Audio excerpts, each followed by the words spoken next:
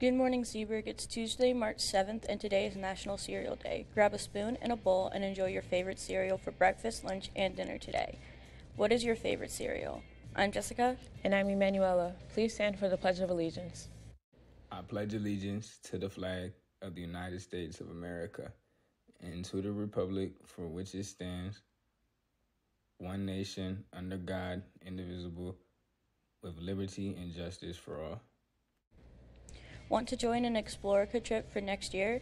The art department is sponsoring a trip for February 2024 to Montreal and Quebec. See Miss Hoppen, room 142, if you are interested. Sign up is now. Are you interested in joining the Clarksburg debate team? Competition is, fin- is finished for this school year, but we are looking for new members who want to compete in the fall. Please join us in room 206 at lunch on March 14th to find out what the debate team is all about. If you can't make lunch, come see Mrs. Wessel in room 206 to get a Zoom link and join us for the online interest meeting at 6 p.m. March 14th. The Protect the Future Club is organizing a toy drive for the University of Maryland Children's Hospital from now until Friday. New items like figurines and activity books are accepted. Make a child's day by dropping off an item in room 222 or in the main office. NHS members, you have a meeting tomorrow. NHS is meeting in their service project planning committees. Any questions, contact your service chair. Now let's go to now let's go to weather.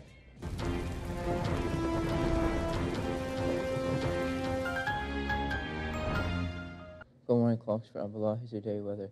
Today will be light snow this morning with a high 52. Following clear skies in the afternoon. Tonight will be clear skies with a low of 29. Tomorrow will be mainly sunny with a high 51. That's all water today, Coyotes. Then now back to announcements after a short video. Fentanyl's in everything out there now. These aren't the drugs of 10 years ago. Illicit fentanyl has 50 times the strength of heroin. As little as 2 milligrams can be fatal. Before Stephen and Andrew passed, I didn't really know anything about fentanyl. Many young adults have never heard of illicit fentanyl. This increases the risk of death through experimentation. They are putting it in everything to make all their drugs more potent and more addicting. Illicit fentanyl is being used to make counterfeit prescription pills as well as lace drugs of all kinds. They were good kids that made an, an innocent mistake.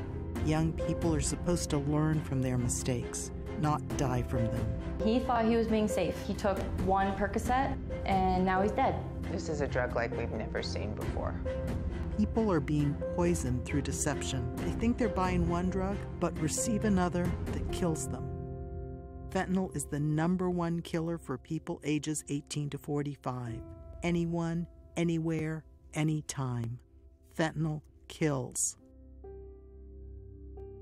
For more information, please visit MatthewsVoice.org or FacingFentanylNow.org. Juniors, the GBTLA Saturday Schools Crash Course to College is held every Saturday from 9 a.m. to 11 a.m. Get started on your college applications now with Mrs. Somerville. It costs $85 or $40 if you qualify for farms. Limited space is available. For more information, please see Ms. Somerville in the Career Center. Are you a lover of cats? Help the Montgomery County Cat Coalition with the rescue cats they support by donating cat treats and cat food.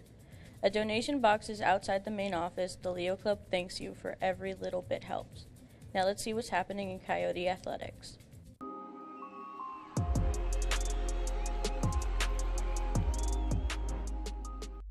What's good, C-burg? I'm Dylan. And I'm Ethiel, and we got your Coyote Sports Minute. The Washington Wizards are set to play the Detroit Pistons tonight at 7 p.m. Go Wizards! The Washington Capitals lost against the Los Angeles Kings last night 4 2.